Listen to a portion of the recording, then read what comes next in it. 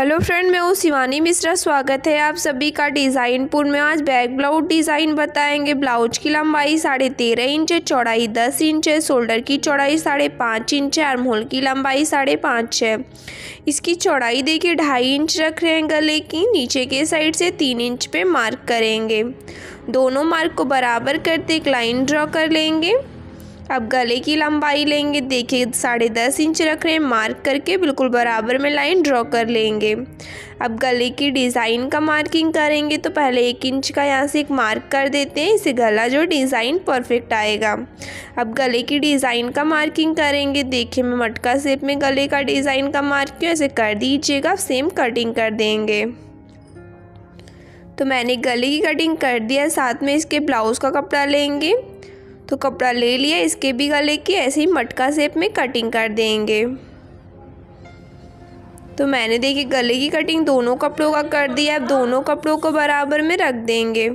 अब एक सिलाई लगाते हुए पूरे गले की स्टिचिंग करेंगे। देख लीजिए मैं अस्तर कपड़े को बराबर करते हुए कैसे गले की स्टिचिंग करें, इस तरीके से स्टिचिंग कर लीजिएगा। तो मैंने गले की पूरा अच्छे तरीके से देखिए स्टिचिंग कर दिया। अब गले पे छोटे छोटे कट लगा देंगे, इसे जब पलट कर सीधा करेंगे तो डिज़ाइन सेम इसी तरीके से आएगी।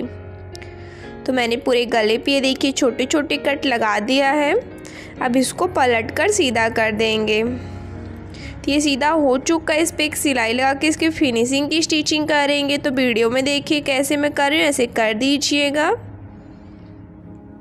तो गले की फिनिशिंग की स्टिचिंग मैंने कम्प्लीटली कर दिया है। ब्लाउज की ऑलराउंड स्टिचिंग करेंगे। अस्तर कपड़े को बराबर करते हुए साइड से एक सिलाई लगाते हुए पूरे ब्लाउज की ऑलराउंड स्टिचिंग कर लेंगे।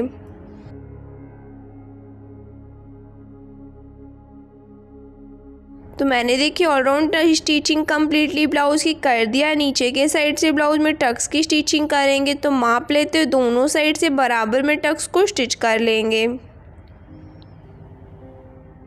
एक साइड से स्टिच हो चुका है, टक्स दूसरे साइड से भी इसी तरीके से कर देंगे। तो मैंने देखिए दोनों साइड से टक्स की स्टिचिंग कर दिया, नीचे के साइड बॉर्डर बनाने के लिए मैंने अस्तर का कपड़ा कट कर दी, इसको बराबर करते हुए नीचे के साइड से पूरा स्टिच कर लेंगे। ये नीचे के साइड से स्टिच हो चुका है, इसको बराबर में फैलाएँगे।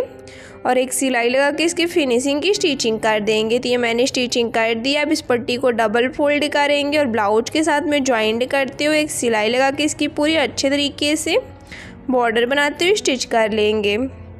तो आप देख रहे हैं मैं बॉर्डर बनाते हुए कैसे स्टिचिंग कैसे कर दीजिएगा। ब्लाउज़ पे डिज़ाइन करना है तो ब्लाउज़ साइड करेंगे। डिज़ाइन दिखाते हैं आपको। डिज़ाइन बनाने के लिए मैंने एक पट्टी कट कर दी, जिसकी चौड़ाई मैंने 1.7 इंच रखा है। दोनों साइड से पट्टी थोड़ा थोड़ा फोल्ड करेंगे, बीच में बराबर में फोल्ड कर देंगे और एक सिलाई लगाते हुए पट्टी की पूरी स्टिचिंग कर लेंगे। तो पट्टी थोड़ी लंबी बनाइएगा, डिज़ाइन में पट्टी का ज़्यादा यूज़ आएगा।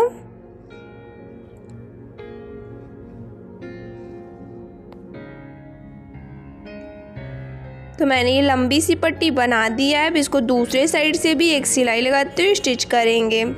देख लीजिए, मैं दूसरे साइड से सिलाई लगाते हुए कैसे स्टिचिंग करें, ऐसे कर लीजिएगा। तो मैंने पट्टी की पूरी स्टिचिंग कर दिया है दोनों साइड से। अब डिज़ाइन बनाने के लिए इसको कट करेंगे।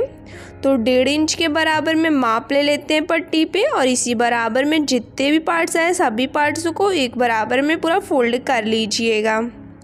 तो मैंने इसको देखिए पूरा फोल्ड कर दिया, अब इसको कटिंग करके अलग अलग करना है। जितने पार्ट्स हैं सभी को अच्छे से कट करके अलग अलग कर दीजिएगा। तो मैंने ये देखिए पूरा अच्छे से पट्टी कट करके अलग अलग कर दी, इसको साइड करेंगे। अब ब्लाउज़ ले लेते हैं अब ब्लाउज़ के गले पे इसके डिज़ाइन करेंगे पट्टी से।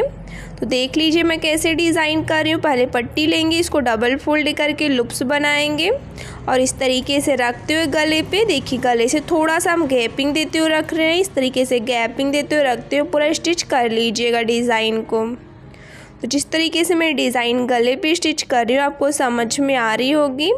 ऐसे पूरा स्टिचिंग आप भी कर दीजिएगा।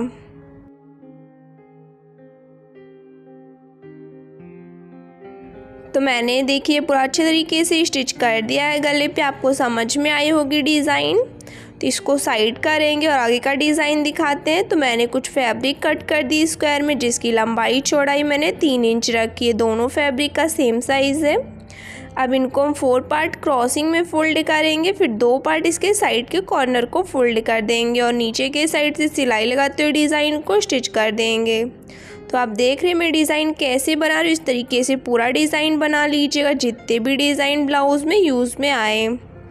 तो देखिए, मैं आपको कुछ डिज़ाइन इसके बनाकर दिखा देती हूँ, जिससे आपको ये डिज़ाइन अच्छे से समझ में आ जाए। कि मैंने कुछ डिज़ाइन आपको देख के बता दिया इस तरीके से हम पूरा बना देंगे। तो मैंने देखिए और सारे डिज़ाइन इसी तरीके से बना लिया है ये। अब इनको साइड करेंगे और ब्लाउज़ ले लेंगे। ब्लाउज़ के गले पे डिज़ाइन को स्टिच करेंगे। तो देख रहे हैं मैं तीन तीन का पेयर बनाते हुए डिज़ाइन को स्टिच करूँगी, एक बीच का अलग रहेगा और साइड साइड का सेम कलर रहेगा।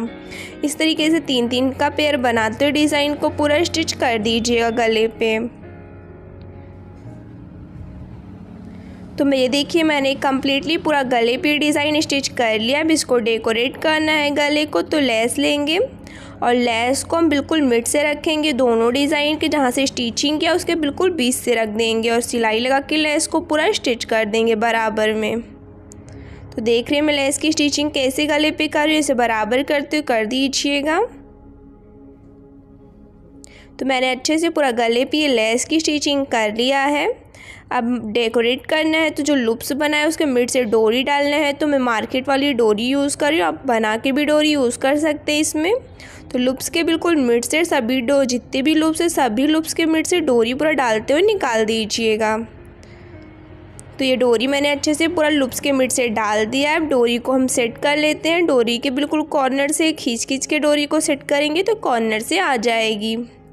देख रहे हैं वीडियो में, मैंने कैसे सेट की डोरी को? जितना यूज़ में है उतना डोरी ले लीजिएगा। अब इसको डेकोरेट करने के लिए जो डिज़ाइन बनाए, मोती लिए हैं। मोती को हम निडल की सहायता से जितनी भी डिज़ाइन है, सभी डिज़ाइन पे मोती स्टिच करेंगे। तो मोती ऑप्शनल है, आप इसको लगा के ब्लाउज़ में से डेकोरेट भी कर सकते हैं या फिर ना डेकोरेट करें तो भी डिज़ाइन आपका बहुत अच्छा लगेगा। तो मैंने ये मोती लगा दिया है, देखिए ऐसे पूरा लगा देंगे। तो देखिए, मैंने पूरा मोती लगा दिया है गले पे। मेरा ब्लाउज डिज़ाइन बिल्कुल कंप्लीट है। बहुत ही सिंपल सी डिज़ाइन थी बहुत ज़्यादा बनाने में इजी था।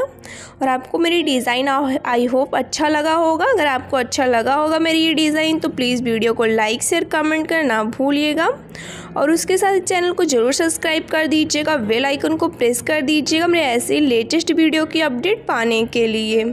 चलिए फ्रेंड, मिलते हैं नए वीडियो में नए डिज़ाइन से, जो ऐसा ही सिंपल हो और आपको इसी तरीके समझ में आ जाए। मैं आपके लिए ऐसे ही लेटेस्ट वीडियोज़ की अपडेट लाती रहूँगी। तो मिलते हैं नए वीडियो में नए डिज़ाइन से, जो ऐसा ही सिंपल और ईजी हो। Thanks for watching. Bye bye.